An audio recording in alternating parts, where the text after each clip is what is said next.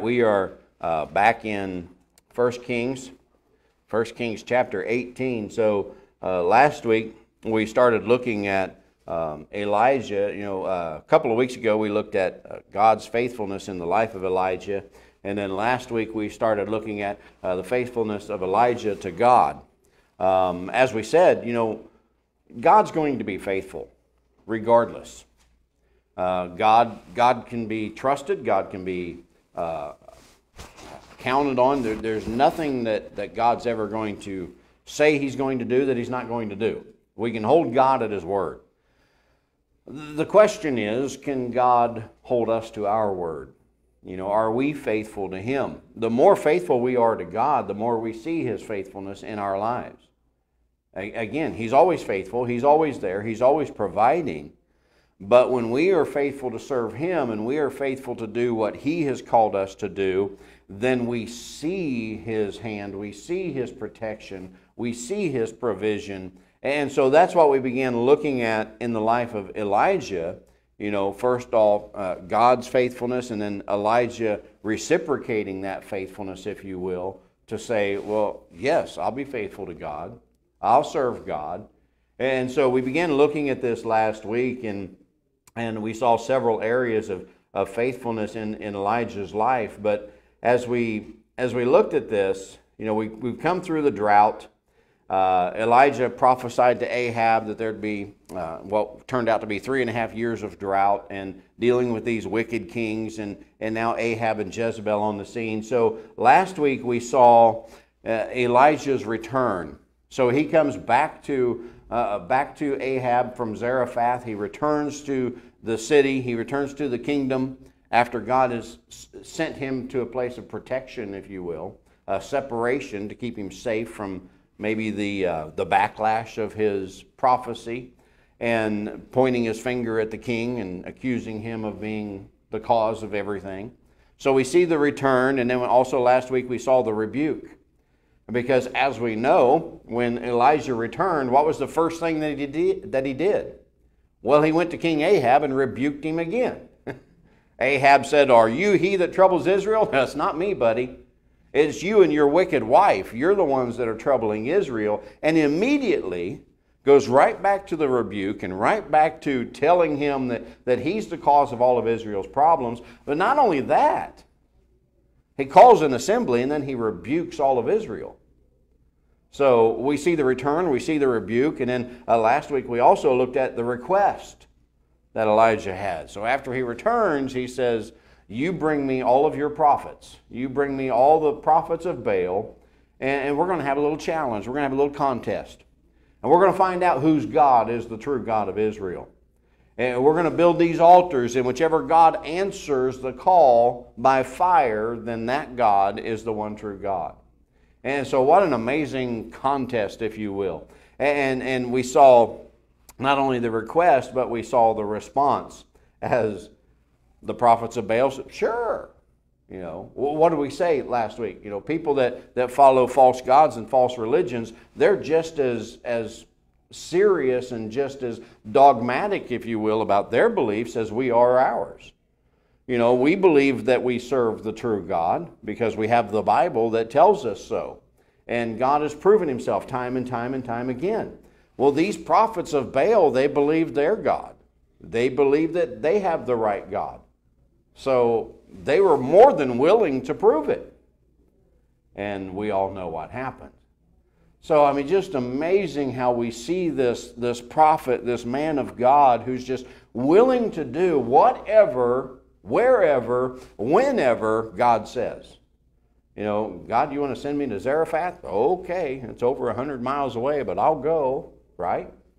I want this widow woman to take care of me? Well, she's about to die. Her son's about to die. They don't have anything to eat, but okay. You want the ravens to feed me? Yeah, sure. Why not? I mean, we just see God provided for him. And so Elijah said, I see your provision. I see your, your, your promises in my life. I, I see everything you're doing for me. I've got no reason to question my God. So he's up for the challenge. The prophets of Baal are up for the challenge. And what an amazing picture. And so today we're going to continue in this. And so the first thing that we see here is, of course, the result. So, back in 1 Kings chapter 18, we see the results of this challenge as we begin in verse number 38. Now, notice this. Verse 38 says, So Elijah has called on God, he's mocked the prophets of Baal, all of that's taken place. Verse 38 Then the fire of the Lord fell and consumed the burnt sacrifice, and the wood, and the stones, and the dust, and licked up the water that was in the trench. Now, th- this is really amazing to me because oftentimes we say, Elijah, he's the man that called fire from heaven. And, and, I understand the wordage. I mean, I've said that myself. But in reality, Elijah did not call fire from heaven. Elijah prayed. Simply, he prayed. Elijah prayed, and God answered his prayer. What was the challenge to the prophets of Baal? We're going to build this altar, we're going to put a bowl on this altar, and we're going to call on our God and whoever's God answers by fire will be the one true God of Israel. And so as, uh, we know the story. The prophets of Baal, they cried all morning, they cried all afternoon, and nothing happened. He mocks them. Hey, maybe he's asleep. Maybe you should cry louder. Maybe he's on a trip. He can't hear you. You know, it just, it's just funny how he's just mocking them. And they begin cutting themselves. And this goes on all the way into the evening, and no answer from Baal. Why? Because Baal's a false god. Pretty simple. So then it's Elijah's turn. Now, I, as I picture this in my mind, you know, I, I kind of I say all the time I have kind of an over overactive imagination. But I can picture these prophets of Baal. They start in the morning, they start their sacrifice, they start their praying, they start their rituals, and they go through this. The Bible lays it out from morning to noon, from noon until evening. I mean, just all day long, and nothing is happening. So, the Bible tells us, as we looked at last week, it's now time for the evening sacrifice, which is a normal time. We're all going to gather for the sacrifice. It's Elijah's turn. He steps up to bat, so to speak. It's the time of the evening sacrifice. Elijah prays. Boom. I mean, that's how I picture it. I, I don't know if it was five minutes, 10 minutes, 15 minutes. But Elijah comes to his altar. You, you remember what he tells the men. You know, take water. You know, you put the bullock on the altar, dig a trench, fill that with water, and he does this three times. He just saturates that wood. I mean, y'all, y'all know if you've ever been camping or if you ever tried to start a fire, you don't want wet wood.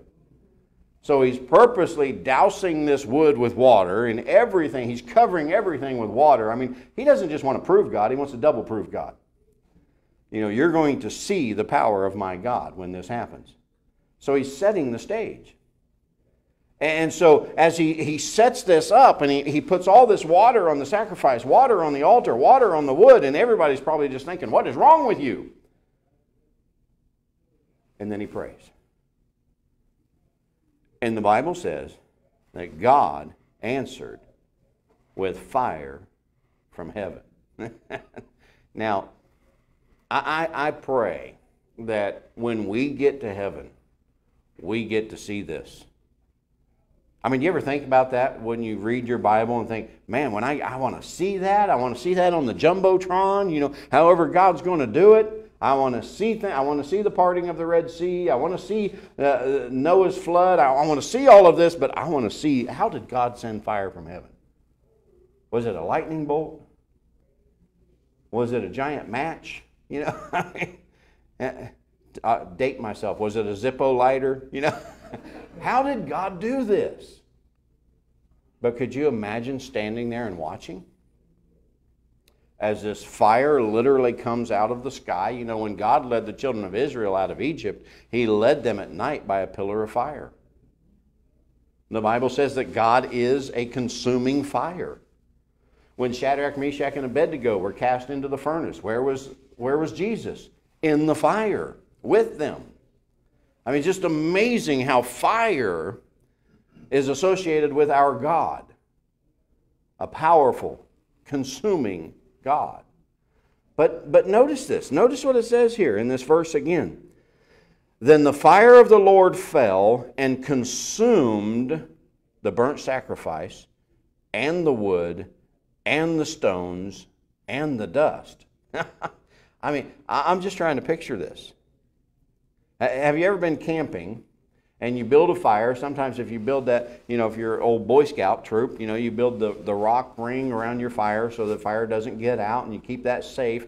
Well, I mean, has your fire ever gotten so hot that those rocks get hot? But they don't get consumed. I mean, think about how powerful this fire is that it consumed even the rocks. I mean, there's nothing left here. There's no water left, there's no sacrifice left, there's no rock left, there's no wood left, there's no dust. God's fire consumed everything. This was the result of one man's prayer. Are, are, you getting that? He did not call fire from heaven, he called on his God to answer his prayer. And God answered his prayer. Do you know we serve the same God? And whatever it is that's in our lives that's got us upset, got us concerned, got us worried, got us fretting all the time, God can consume that just like He consumed these rocks and this wood and this sacrifice. God can answer when we call, and He will because we serve the same God. And Elijah was faithful to call on his God because he knew without a shadow of a doubt Baal's a false God. My God is the one true God. Watch him answer. What an amazing picture of faithfulness. There's not a doubt in his mind. He's not wondering, well, you know, eh, is he really going to hear me? Will he really will he really answer? We don't see that in Elijah. God, let all Israel know that you are the one true God. Boom. I mean, that, that's how I picture it. because that's kind of how the Bible lays it out, isn't it? Look at verse 39. Verse 39 And when all the people saw it, notice this, they fell on their faces and they said, The Lord, He is God. The Lord, He is God. you know, I don't know how many people are in this kingdom at the time, you know, because of the divided kingdom. But I mean, I would dare say there, you know, maybe a million people. And they're all gathered together and they all see this and they all see this fire fall out of heaven and they see this sacrifice get consumed and the rocks get consumed. And the result is all of Israel says, Elijah's God. He's our God. He's the one true God. He is the one that we need. You see this? I mean, that quick, their hearts are changed, their minds is changed. But now, here's my question How many times in the history of Israel does this have to happen? I mean, seriously. From day one, when, when, when they started serving God, it seemed like squirrel. right? I mean, hey, hey, Moses, lead my children out of bondage. Oh, we want to stay in Egypt because there's garlic and onions. I mean, seriously. Well, let's see. I want to serve God who's going to provide all my needs, or I can have garlic and onions. I, I just, I don't understand. And then everything that they saw as God led them out, you know, uh, God provides manna. This, this miracle meal that, that just appeared in the morning. And the Bible says, like the hoarfrost. It's like, where did this come from? It came from God. Well, then manna's not enough. Well, we want meat. Okay, well, you got meat. So much quail that it's just coming out your ears. Oh, we need we don't have any water. Well, we'll get water from a rock. You know, I mean, come on. How many times does God have to do this? And they still turn to false gods. The minute things start getting better, the minute things start going their way, they realize, well, maybe I don't need God so much, and maybe I could go do my own thing, and maybe this other God is okay. And we see this over and over and over in Scripture, and we scratch our heads and go, why do they do this? But we do the same thing. Right? We'll condemn them very quickly. Look at all this. You got, oh, look how God proved himself to you, and you're still chasing other gods. Hasn't God proved himself to us over and over, time and time again? Yet we're still fearful. We still doubt. We still question. You know, I, you know, maybe God answers other people's prayers, but is He really going to answer my prayer? Yes. When you're faithful, He answers. Now, again, as I said, he's always faithful. But it's the difference between thinking of our children. If you have multiple children and you know you have one child that's always obedient, Lord, give us those children. You know, always obedient, always follows the rules, always does what they're told. It's real easy to lavish that child with blessings, isn't it? It's real easy to fellowship with them and have a good time with them and enjoy their company. But you get that one rebellious kid that just doesn't want to listen, has to do things his way, is just bent to their own will, and the whole house feels it, right? Well, you want to bless them in a different way.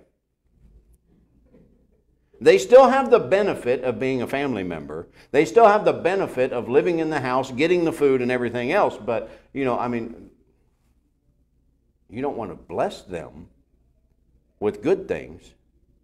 You just want to provide what they need to survive.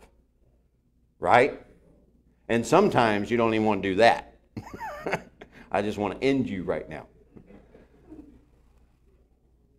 That's how we are with God. When we're obedient, when we're faithful, when we're walking close with Him, He showers us with blessings. But when we're disobedient, we still get provided for because He's faithful, but He's not going to give us the blessings that He could be giving us were we faithful like Elijah. Do you see this? The children of Israel are, are learning this lesson over and over and over, just as we learn it sometimes daily. You know, we, we have things that pop up in our lives that are difficult, whether they're health issues, financial issues, family issues. You know, those, those things will consume us if we allow them to. But if we will turn and give those things to God and allow Him to deal with them and watch Him provide, we can see that fire fall from heaven and consume our problems. Yes, sir. I don't know why why the uh, Jewish people kept needing to be reassured. If the Bible at the very first time, Yeah. okay, we learned it, Right. we wouldn't understand True. that we could, we're not that way. So because we are the same as them, we have the hope that, that they have. Sure. So they had to do that for our, And, and isn't that what Pastor was talking about? Uh, is it the Wednesday night? No, Sunday nights. He's talking about, you know, these things were for our examples. So if we had not seen the faithfulness of God, even to disobedient Israel, then we would not be able to see that He's going to be faithful to us, even though we're disobedient. That doesn't mean we should run out and be disobedient, because He's not only is He faithful, but He blesses us abundantly when we are faithful. And so, yes, you know, it, it is for our, our learning, our example, so that we can see how God continued to come back to them. How many times did He want to destroy them? He wanted to end Israel. And Moses would have to step in and say, Oh, wait a minute, God. you know, not that he's trying to convince God, but I think, you know, God was trying to allow Israel to see how serious this is to be faithful. Right? Look at verse 40. In verse 40 says, And Elijah said unto them, Take the prophets of Baal, let not one of them escape. And they took them, and Elijah brought them down to the brook Kishon and slew them there. So, another result that we see here, not only with the result of, of Elijah's prayer being answered by fire falling from heaven and all, everything consumed, the result of all of Israel proclaiming that God is the one true God, but now another result that we see here is that all the prophets of Baal, 450 of them, were slaughtered by Elijah. As if to say, let's put an end to this nonsense right now. So their, their, their false prophets were gone. They, he ended that. But here's what we need to understand, and this is important that we understand this. He may have been able to slaughter those prophets and end the worship, but he was not able to end the effect that they had on the people. The, the baggage, so to speak. Yeah, the mindset, that's good. But think about this. When we come to Christ, think about when you were saved. Now, when I think about my life, I had a lot of what we call baggage. You know, you, I've heard y'all have heard my testimony several times. You know, drugs, alcohol, filthy mouth, filthy lifestyle. I mean, just not a very good person, not a kind person. But when God gets a hold of your heart, does that mean that the minute I get saved, all those things are gone and now I'm a miraculous, righteous person and I'm holy and I never do anything wrong again? Boy, I wish that were true. I still have the baggage. And I still have to purge those things out of my life. With His help, with Scripture, with guidance, God can remove those things. So Israel is still going to have to deal with this. In other words, there are still consequences to their actions that they're going to have to deal with. Do you remember David when he, when he uh, had that adulterous affair with Bathsheba and she got pregnant, right? And so David tried to cover it up. He tried to hide it. He tried to do everything in his power to make it look like it was Uriah's baby, and, and that just never happened. Well, what did God do?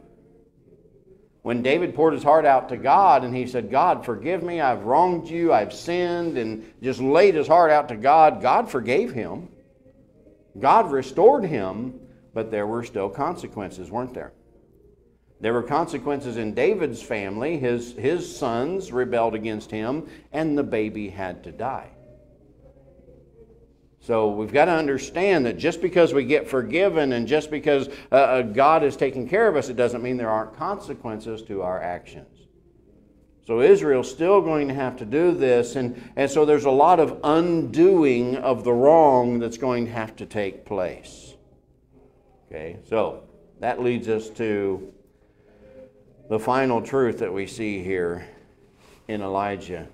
Not only do we see the result him praying to God, we also see finally what everyone's been waiting for the rain. Look at this in verse 41. Verse 41 says, And Elijah said unto Ahab, Get thee up, eat and drink, for there is a sound of abundance of rain. So Ahab went up to eat and to drink, and Elijah went up to the top of Carmel, and he cast himself down upon the earth and put his face between his knees. Now, look at, look at this. So Three and a half years there's been no rain. And what did Ahab tell Elijah at the beginning? Until I say there will be no rain, there will be no rain. Again, not boasting of himself, not proclaiming to have power or authority over the weather, but proclaiming the word of God that came to him and came through him. All right? I'm God's mouthpiece at the moment. What God says goes. So now he comes to Ahab. After all of this has taken place, the prophets of Baal have been killed, the fire falls from heaven, everybody's proclaiming a revival, if you will, and he comes to Ahab and he says, By the way, Ahab, your prophets are dead. Oh, what's that I hear? It sounds like rain. You better get up. Get up and eat and drink. What's he saying here? It's time to celebrate. Now, now, I want you to get this picture because everything could have changed right here for Israel. If Ahab would have just taken the bait, so to speak, Elijah's giving him an opportunity here. Ahab, get up, eat and drink. Essentially, what he's saying is give praise to God. The people of Israel have proclaimed that God is the one true God. Baal is a false God. I've just slain all of his prophets. Now let's give praise to God. It's about to rain. You see what he's saying here? So that it's time for a change, Ahab. It's time to turn this thing around. Unfortunately, Ahab doesn't take the bait. So, look at verse 43 and said to his servant, Go up now, look toward the sea. And he went up and looked and said, There is nothing. And he said, Go again seven times. And it came to pass on the seventh time that he said, Behold, there ariseth a little cloud out of the sea like a man's hand. And he said, Go up, say unto Ahab, Prepare thy chariot and get thee down, that the rain stop thee not. So now he says to his servant, he says, Now I want you to go out and look at the sea and tell me what, what, you, what you see out there. And he, he does this seven times. Now we could go back and say, well, you know, seven's the number of perfection, you know, God's number of completion. And, and that's fine. But what we see here is Elijah faithful to pray and saying, God, you said it's time for rain. You told me to tell Ahab it's time for rain. We need some rain, right? You see this. So he's praying this whole time. Go again, go again, go again, go again. What do you see? Well, I see a little cloud. It looks like a man's hand. He said, You better go tell Ahab he needs to get moving. If he doesn't get moving, his chariot's going to get stuck in the mud. You see, this is what he's saying, essentially. And so he says, It's time. I see a little cloud. He says, You go tell Ahab he better get up and he better get moving. Now, notice verse 45. And it came to pass in the meanwhile that the heaven was black with clouds. Uh, how long has it been? Three and a half years. I'm sure by this point, the people are very curious about what's about to happen. Now we see clouds. Now we see dark sky. Man, it hasn't rained in three and a half years. This is amazing. All right, so and it came to pass in the meanwhile that the heaven was black with clouds and the wind, and there was a great rain, and Ahab rode and went to Jezreel. And the hand of the Lord was on Elijah, and girt up his loins, and ran before Ahab to the entrance of Jezreel. now, there's a lot that we could discuss here, but I want you to notice this because he tells him, You better get to your chariot because the rain's coming. There's clouds. And before they can probably get the words out of their mouth, the sky turns black, the wind starts to blow, and the rain starts to roll in. Hey, Ahab, you better get moving.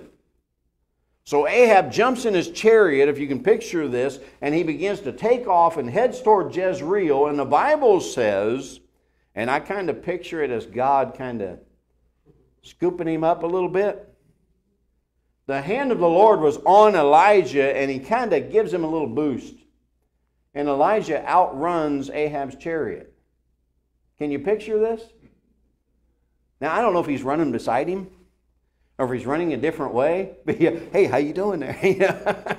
and, and, you know, can you imagine Ahab's face when he gets to Jezreel and who's at the gate to meet him? But, a, but Elijah. Now, I believe this is on purpose because Ahab had to have a reminder. The rains are back. So the drought is over, but there's still a lot of work to do, Ahab. We still need to clean up this mess. And Elijah was standing at that gate when Ahab came through as kind of a slap in the face, if you will, to say, Don't forget about me. I'm still here, buddy. God's still in control. I mean, how do you outrun a chariot? I mean, this is this is impossible.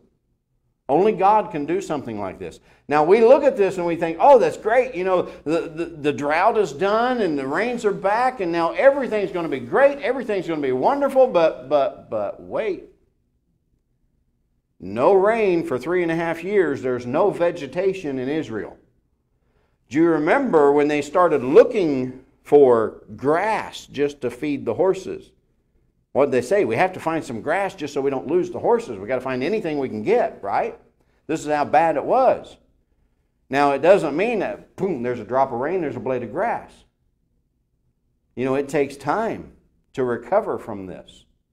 And so, even though the rains are back, there's still a lot of work to do. There's still a lot of rebuilding that has to take place. And Elijah's standing at that gate as Ahab comes through just to say, Remember, I'm still here. My God is still God. And everything that we've just experienced for three and a half years can very easily happen again. Just a reminder. Now, granted, the Bible doesn't say that's why he was there, but why else would he be there? Why would God send Elijah to the gate to meet Ahab at Jezreel? He wanted Ahab to remember how powerful God was. Because there's no way that Elijah could have beaten him there. But you remember when, when he revealed himself, when he returned, and, and, and the prophet said, uh, No, if I go tell Ahab that you're here, then God's going to whisk you away and I won't be able to find you. See, they knew that the hand of God was upon Elijah's life and would move him in ways that they couldn't understand. So it's just a just a little gesture, a little reminder to Ahab, you're not really in control here. God is. And that's what we need to remember. No matter what comes into our lives, you know, when we have difficulties, we have trials, we have hardships, health issues, financial issues, you name it. When God answers that prayer and that hardship is over, there's still recovery. But God is still God. God is still good. God is still in control. We may be dealing with consequences. We may be dealing with results. We may be dealing with, with the leftovers sometimes that are e- sometimes even as hard as the trial itself. But God is still God. God is still in control. And we need to understand that He's the one that brought us through this. And Elijah was a reminder to Ahab that this is what God has done. You had no, no say, you had no authority, you had nothing to do with this, Ahab. This has all been God. And don't you forget it. Well, we need that reminder. We need that reminder every day. You know, when you wake up in the morning and take that first breath, that's all God. I mean, I, I, hate to trivialize it like that, but that's just the truth. Because if God says you don't get another breath, you can suck, wheeze, and huff and puff all you want, you're not getting any. somewhere, God, somewhere somebody did not. True. I mean, if you woke up this morning and took a, a, breath and praise God for that because He allowed it. The other part of that miracle, besides um, Elijah getting to the outrunning the chariot, yeah. My, my footnote says that's about 17 to there. Yeah. I, I can't run 17 feet without being winded. so 17 miles, God just. Another miracle. I mean, you, you know, you can say what you will about how God did it, but regardless, God did it. And what an amazing God for him to outrun this chariot and to be standing there at the gate. I mean, now, I don't, I don't know about you, but I kind of picture Elijah as this kind of, you know, in your face kind of guy, and he's standing at the gate going, mm-hmm. Yeah. What took you so long? yeah. hey, I got a little drink for you, Ahab. Come on. You know, I mean, that's just, that, that's how I picture it. Maybe it didn't happen that way, but I'm sure Ahab, when he saw Elijah standing there, thought, man, this guy, he is such a thorn in my side. When will he ever leave me alone? Just a reminder God's still there, Ahab. God's still there in our lives too, regardless of what's going on, regardless of what we're dealing with. God is always there and always ready when we are faithful. So now, next week, we're going to get our, our last lesson in the life of Elijah and uh, just a, a short little mini series, I guess, if you will. And uh, just look at a few more things next week, and we'll wrap up Elijah and get moving on to some more of these topics. But uh, just, I mean, this is our first first one, and I've enjoyed this already. So I look forward to getting some more of these topics in here. And, and uh, boy, Elijah's something else, isn't he? But wait till next week. Hmm, what will happen? I think we know, but what will happen? All right, let's pray. Father, we thank you, Lord, again for this time. We thank you for examples like Elijah that we can see in Scripture, not only of your faithfulness, but of his faithfulness to you. An example to us to be faithful, and an example to us to trust you and to walk with you and to do what you've called us to do. Lord, we just pray that you continue to bless our lives and continue to help us as we serve you. Be with the service this morning. Be with Pastor as he brings the message. May it be exactly what we need for our lives. In Christ's precious name we pray. Amen.